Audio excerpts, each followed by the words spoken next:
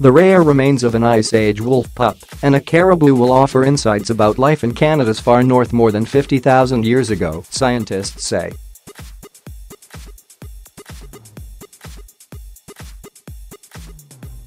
The creatures were discovered with intact hair, skin, and muscle tissue.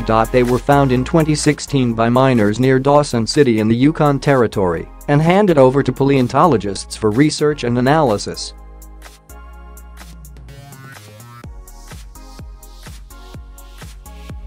They are among the oldest mummified mammal soft tissue in the world, paleontologist Grant Zazula said. The wolf pup is estimated to have been about 8 weeks old when it died.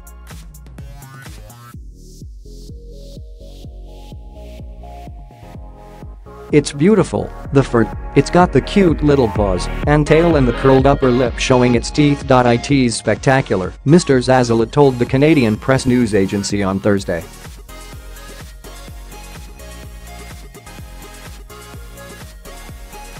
The caribou remains include the torso, head, and front limbs.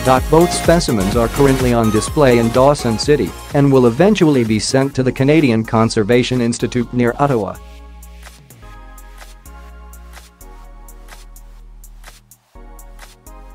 They are expected to help scientists understand how they lived in the environment they inhabited. Other creatures who roamed the region from that era, such as the woolly mammoth and even a species of camel, are extinct